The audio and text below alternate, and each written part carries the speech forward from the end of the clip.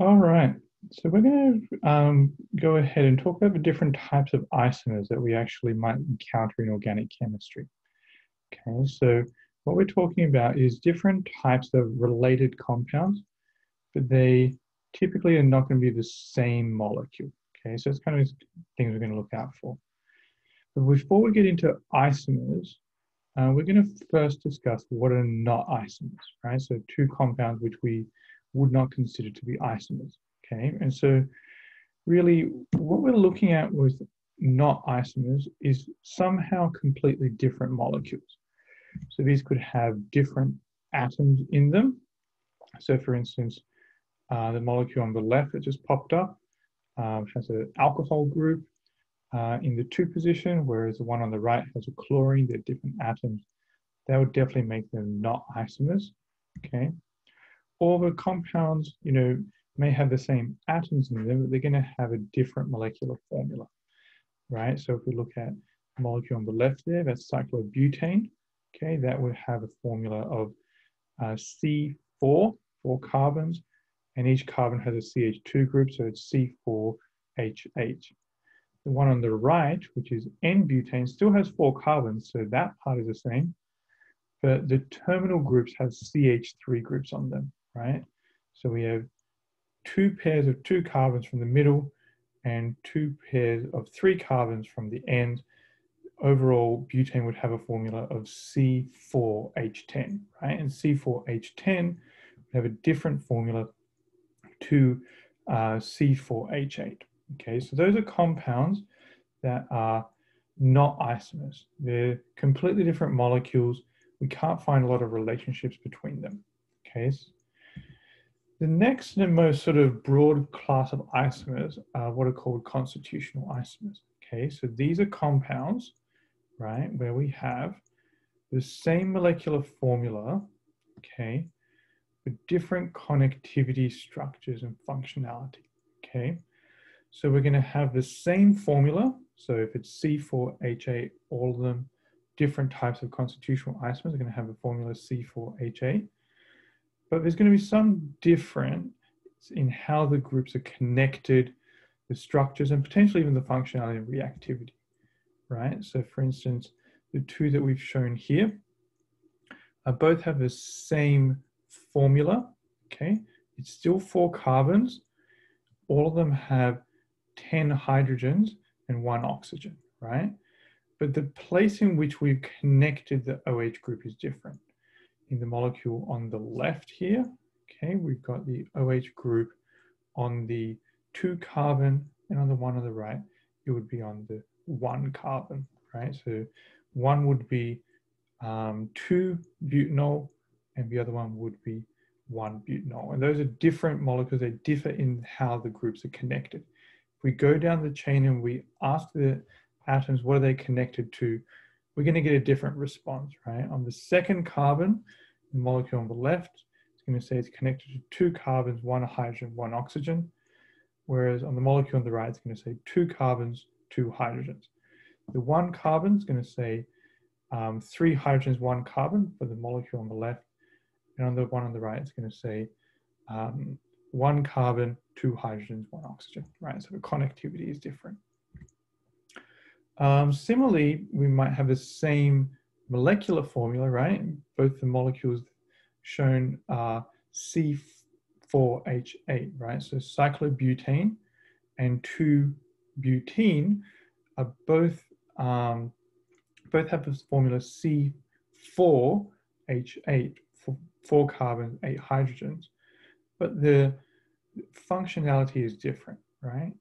One is a cycloalkane, the other one is an alkene, it has a pi bond, right? And the reactivity of what you can do with an alkene is very different to what you can do with just an alkane, right? So constitutional isomers have the same molecular formula, but not a lot of similarity beyond that, okay? So the functionality, the connectivity, and the structures are gonna be different between two different types of constitutional isomers. Where it gets a bit more interesting when we're talking about stereoisomers. Okay, so the other types of isomers are all different types of stereoisomers. So we can sort of represent this in this big purple triangle, right? So we sort of have the black segment, which is all the molecules that are not isomers.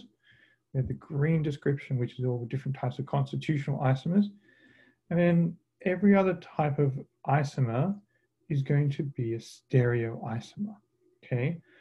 These are compounds that have the same connectivity, meaning if we go along the molecule and ask every atom what it's connected to, the response would actually be the same. But there's different geometries, right? There's different configurations. That's the key thing.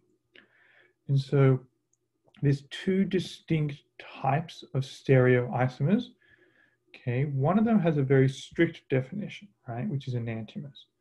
So if we look at enantiomers, okay, enantiomers are defined as having non-superimposable mirror images, meaning we have two molecules which are mirror images of each other, but those two mirror images are not superimposable, okay?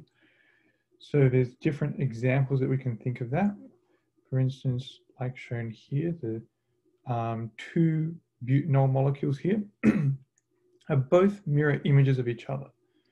Okay, they're perfect mirror images of each other, but we can convince ourselves that those two are non-superimposable. There's no way we can get the top version of um, 2-butanol onto the bottom version of 2-butanol without breaking and reforming bonds, right? That's the key thing about stereoisomers.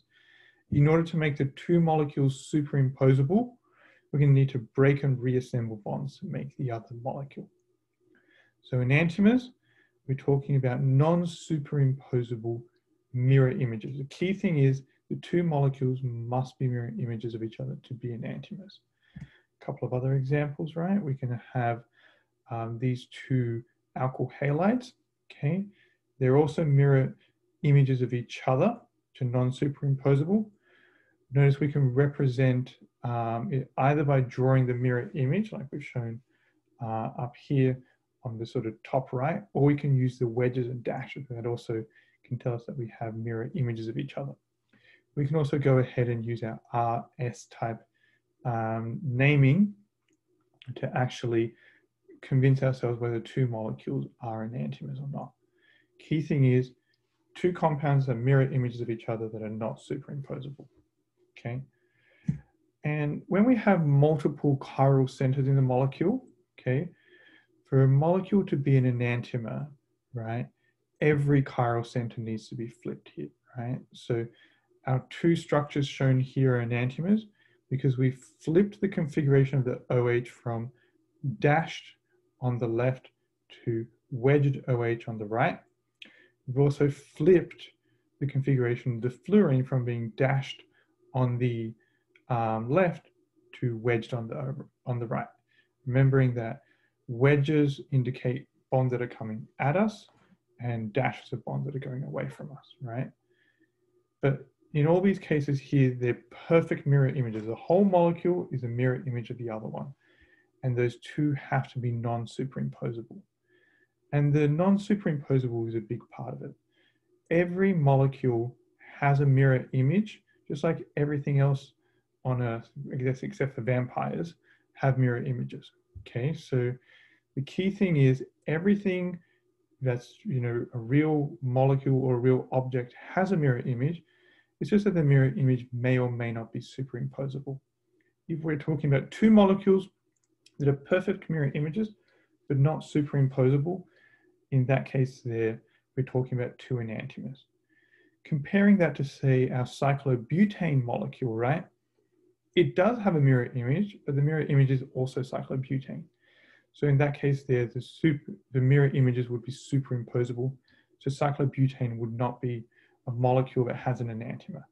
We have two molecules, mirror images, not superimposable, then we have enantiomers. Now the other types of stereoisomers or different geometric isomers are what are called diastereomers, right? And there's a sort of binary split. All stereoisomers are either enantiomers or diastereomers. And if they don't satisfy the strict definition of an enantiomer, being two molecules that are mirror images not superimposable, in that case there, they fall into the other category, which is the diastereomers, right? So we sort of represented enantiomers in blue, within the sort of purple stereoisomer triangle. If it's not in the blue triangle of enantiomers, it will automatically fall into the red triangle of diastereomers, assuming our two molecules are in fact stereoisomers of each other or geometric isomers of each other. So diastereomers are simply all other types of stereoisomers that are not enantiomers, right? So if stereo, two molecules are stereoisomers of each other, but not enantiomers, they automatically become diastereomers. And we can go through several examples of this, right? We can go through, say, EZ uh, type isomers or cis trans type isomers. Those would typically fall into the diastereomer type category. Um, you know, cis trans in rings, okay? In this case here, we definitely have geometric isomers. We can't superimpose the two molecules on top of each other, but then um, actually both achiral molecules. So they're definitely not in the enantiomer category. So instead they fall into the diastereomer category. And when we have molecules with multiple uh, chiral centers, if we go ahead and just flip some of those chiral centers, but not every single one of them, we end up with a pair of diastereomers, right? So back here on sort of our um, three fluoro, um, two butanol molecules, if we've just flipped the OH bond, but not the CF bond, right, those two molecules are no longer perfect mirror images of each other. Part of it is a mirror image, but not the whole molecule. That still falls under diastereomers, right?